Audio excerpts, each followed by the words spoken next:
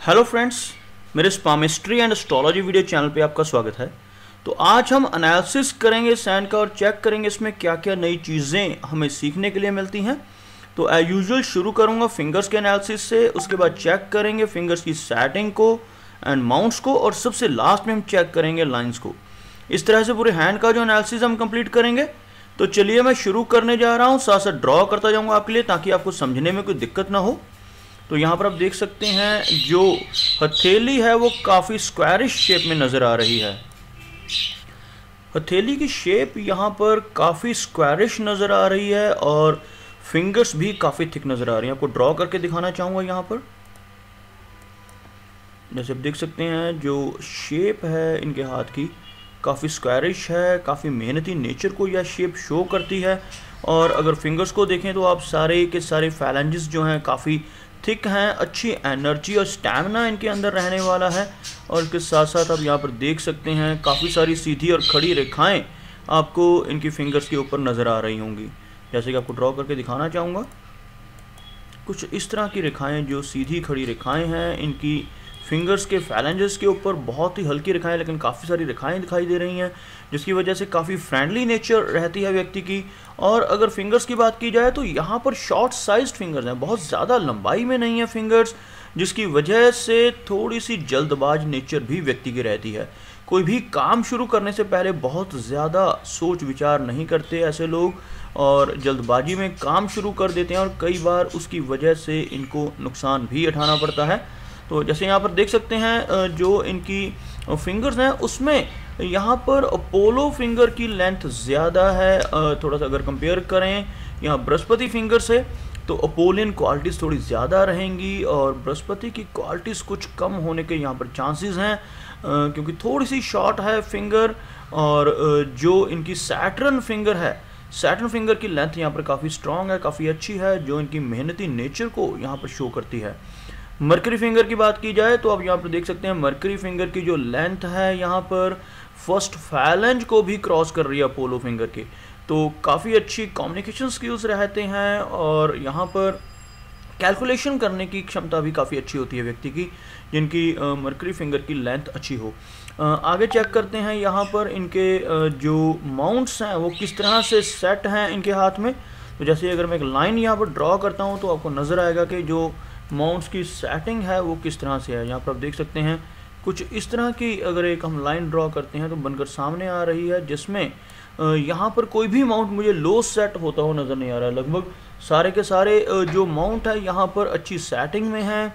और one B one हम अगर चेक करें एक एक माउंट को तो सबसे पहले मैं यहाँ पर चेक करना चाहूँगा बृहस्पति माउंट को तो जैसे आप देख सकते हैं, बृहस्पति माउंट यहाँ पर जो ट्रायरिडल है बृहस्पति माउंट का, बिल्कुल सेंटर में बनता हुआ दिखाई दे रहा है। अब देख सकते हैं यहाँ पर आपको ड्रॉ करके दिखाना चाहूँगा। यहाँ पर जो बारीक लाइनों से बनने वाला त्रिकोण होता है, वो कुछ इस जगह पर बनता हुआ नज़र आ रहा है, जिसकी वजह से बृहस्पति माउंट काफ़ी प्रोमिनेंट हो रहा है। बिल्कुल सेंटर में सेंटर पॉइंट उसको हम कह सकते हैं।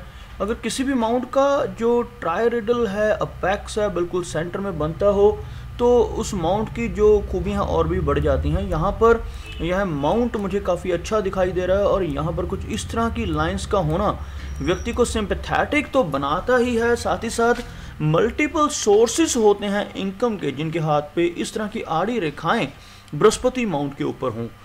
तो यहाँ पर आप देख सकते हैं बृहस्पति माउंट काफ़ी प्रोमिनेंट है और यहाँ पर ऊपर की तरफ़ चलने वाली रेखाएँ, जिनको हम प्रोग्रेस लाइंस कहते हैं। प्रोग्रेस लाइंस भी यहाँ पर हल्की मौजूद हैं जिसकी वजह से लाइफ में निरंतर प्रोग्रेस है जो बनी रहती है। आगे चेक करते हैं शनि माउंट को तो यहाँ पर आप देख सकते हैं शनि माउंट जो है यहाँ पर थोड़ा सा दबा हुआ दिखाई दे रहा है। बहुत ज़्यादा उभरा हुआ सैटर्न नहीं है, लेकिन शनि की जो रेखा है वो काफ़ी अच्छी है।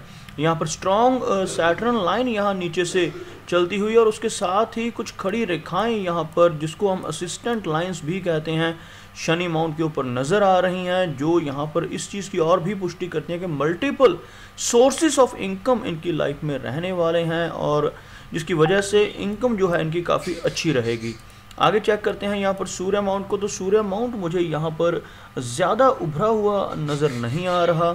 और सूर्य माउंट के ऊपर दो रेखाएँ हैं खड़ी हुई, जिनको हम अगर एक लाइन हो, यहाँ पर तो ज़्यादा अच्छा माना जाता है। इस तरह की दो रेखाएँ हैं तो लगभग दो तरह की इनके अंदर आर्टिस्टिक क्वालिटीज़ रह सकती हैं जिनको चूज़ कर पाना थोड़ा सा कंफ्यूजिंग हो जाता है व्यक्ति के लिए। अगर एक लाइन हो सीधी सूर्य माउंट के ऊपर तो एक ही ऐसी आर्टिस्टिक क्वालिटीज क्वालिटी होती है व्यक्ति के अंदर, जिसकी वजह से वह पूरी तरह से लाइफ में सक्सेस पा लेता है और यहाँ पर थोड़ा सा कंफ्यूजिंग हो जाता है और थोड़ा सा माउंट का भी उभरा हुआ हो अगर तो ज़्यादा उसका बेनिफिट मिलता है। तो यहाँ पर थोड़ा सा सूर्य माउंट मुझे वीक होता हुआ नज़र आ रहा है। मरकरी माउंट की बात करें तो मरकरी माउंट यहाँ पर काफ़ी अच्छा और उभरा हुआ है। प्रोमिनेंट माउंट मुझे यहाँ पर नज़र आ रहा है और सीधी दो खड़ी रेखाएँ हैं। मरकरी माउंट के ऊपर जितनी ज़्यादा खड़ी रेखाएँ हों, उतना ही इसको अच्छा माना जाता है। तो यहाँ पर मरकरी माउंट प्रोमिनेंट है। काफ़ी बेनिफिशियल इस माउंट को मैं यहाँ पर देख पा रहा हूँ। बिज़नेस करने की क्षमता व्यक्ति के अंदर रहती है, जिनका मरकरी माउंट उभरा हुआ हो, खड़ी रेखाएँ हो इसके ऊपर, और साथ ही साथ मरकरी फिंगर की लेंथ भी अच्छी हो। तो ऐसे व्यक्ति काफ़ी ज़्यादा होशियार होते हैं। बिज़नेस में काफ़ी क्लेवरनेस होती है और अपनी इसी क्लेवरनेस की वजह से काफ़ी तरक्की भी कर पाते हैं। आगे देखते हैं मेजर लाइंस को। तो यहाँ पर आप देखते हैं बहुत ही फाइन लाइंस हैं इनके हाथ में। और सबसे पहले तो यहाँ पर हार्ट लाइन की बात कर लेते हैं। यहाँ पर आप देख सकते हैं हार्ट लाइन जो है यहाँ पर बिल्कुल सीधी चलती हुई बृहस्पति माउंट तक पहुँचती है। कुछ इस तरह की हार्ट लाइन यहाँ पर। और बृहस्पति माउंट तक किसी भी हार्ट लाइन का पहुँचना यहाँ पर बहुत अच्छा संकेत है। ऐसे व्यक्ति जिनके बृहस्पति माउंट तक हार्ट की लाइन पहुँचती हो, काफ़ी आदर्शवादी होते हैं। इसी वजह से काफ़ी स्पिरिचुअल लाइफ भी रहती है और थोड़ा सा जैसे यहाँ पर झुकाव है, ऊपर की तरफ़ लाइन का कर्व मुड़ रहा है, इसकी वजह से इमोशनल नेचर भी रहती है। इमोशनल होने के साथ साथ यहाँ पर जो आदर्शवादी नेचर है ऑनेस्टी एंड लॉयल्टी भी इनके अंदर काफ़ी ज़्यादा रहेगी। कुछ ऐसी लाइंस हैं जो नीचे की तरफ़ लाइन से चलती हुई दिखाई दे रही हैं इनके हाथ में। जैसे कि यह जो लाइन जिनकी मैं बात कर रहा हूँ। अब देख सकते हैं, ऐसी दो से तीन लाइंस हैं जिसकी वजह से व्यक्ति को इमोशनल सेटबैक्स भी लाइफ में मिलते हैं। अदरवाइज़ कोई भी मेजर प्रॉब्लम मुझे हार्ट की लाइन में नज़र नहीं आ रही। बहुत ही क्लियर लाइन है। किसी तरह की कोई हेल्थ इशू यहाँ हार्ट से रिलेटेड नज़र नहीं आ रहा।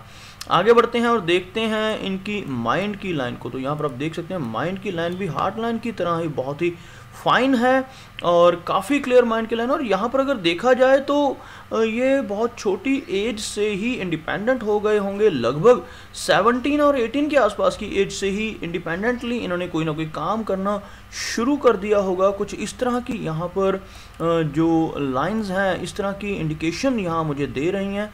क्योंकि आप देख सकते हैं, इस तरह की जो लाइनअप बनती हुई, यहाँ तक लगभग इस एरिया तक जो लाइन जुड़कर चल रही हैं, यहाँ तक का जो एरिया है, जो यहाँ पर 17 और 18 के आसपास की एज को शो करता है और उसके बाद का जो आगे का एरिया है, वहाँ से ये लाइन बिल्कुल इंडिपेंडेंट होकर बिल्कुल सीधा चल रही है, जो बहुत ही शार्प माइंड को शो करती है और बिज़नेस के लिए तो शार्प माइंड होना भी चाहिए, क्योंकि इस तरह की जो माइंड की लाइन है, व्यक्ति को बहुत ही कामयाब बनाती हैं। और यहाँ पर अगर आप देखें, इनके हाथ में जो इनकी लाइन ऑफ़ फेट है, वो भी यहाँ पर मून एरिया की तरफ़ से चलती हुई दिखाई दे रही है। आपको दिखाना चाहूँगा ड्रॉ करके। तो कुछ इस तरह की इनकी जो फेट की लाइन है, यहाँ से चलती हुई और लगभग सैटर्न माउंट तक पहुँचती हुई, इस तरह की लाइन का होना शो करता है। कि व्यक्ति को बाहरी सपोर्ट काफ़ी अच्छी मिलती है। बाहरी सपोर्ट के साथ साथ इन लॉज की तरफ़ से भी सपोर्ट मिलती है और स्पाउस की तरफ़ से भी काफ़ी सपोर्ट लाइफ में रहती है क्योंकि मून का जो एरिया है, यह हम बाहरी लोगों के लिए यह जाना जाता है। जैसे वीनस का एरिया अपनी फैमिली के लिए जाना जाता है, उसी तरह से मून का एरिया हमारे क्लाइंट्स हो गए या फॉरेन रिलेटेड पीपल हो गए या कोई भी बाहरी लोग जो हमारी फैमिली के साथ, बचपन से हमारे साथ जुड़े हुए नहीं होते उनके लिए माना जाता है। इसीलिए स्पाउस और इन लॉस को भी यहाँ से चेक किया जाता है तो यहाँ पर इनके हाथ में काफ़ी अच्छी सपोर्ट मुझे नज़र आ रही है फैमिली की तरफ़ से स्पाउस की फैमिली की तरफ़ से और स्पाउस की तरफ़ से।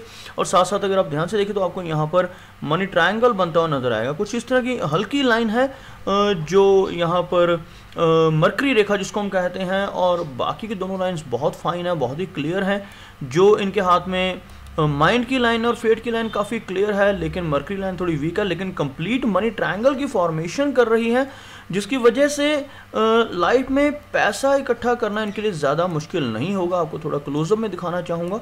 यहाँ पर आपको नज़र आएगी हल्की मरकरी लाइन जो बहुत ज़्यादा डीप नहीं है, लेकिन फिर भी जो फॉर्मेशन है मनी ट्रायंगल की, इसकी वजह से कंप्लीट होती हुई नज़र आ रही है। यहाँ पर जो इनके हाथ में मरकरी लाइन आप देख सकते हैं।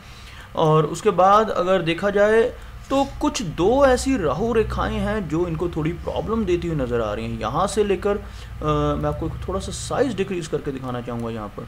अब आपको क्लियरली नज़र आ रहा होगा, इनकी जो हार्ट की लाइन है और लाइफ लाइन को टच करती हुई पहली राहु रेखा यहाँ पर नज़र आ रही जो लगभग 35 और 36 के आसपास की एज में इनको थोड़ी प्रॉब्लम दे सकती हैं और यह प्रॉब्लम हेल्थ रिलेटेड और फाइनेंसिस से रिलेटेड रह सकती हैं और उसके बाद जो एक और लाइन है, जो यहाँ पर नज़र आ रही है कुछ इस तरह की तो यह दो लाइंस जो हैं लगभग इनको लॉस में डालने वाली हैं, जो पहली है, लगभग 35 के राउंड की एज में है और जो दूसरी लाइन है, यह 45 के आसपास की एज में है। तो इन एजेस में थोड़ी सी दिक्कत का इनको सामना करना पड़ सकता है।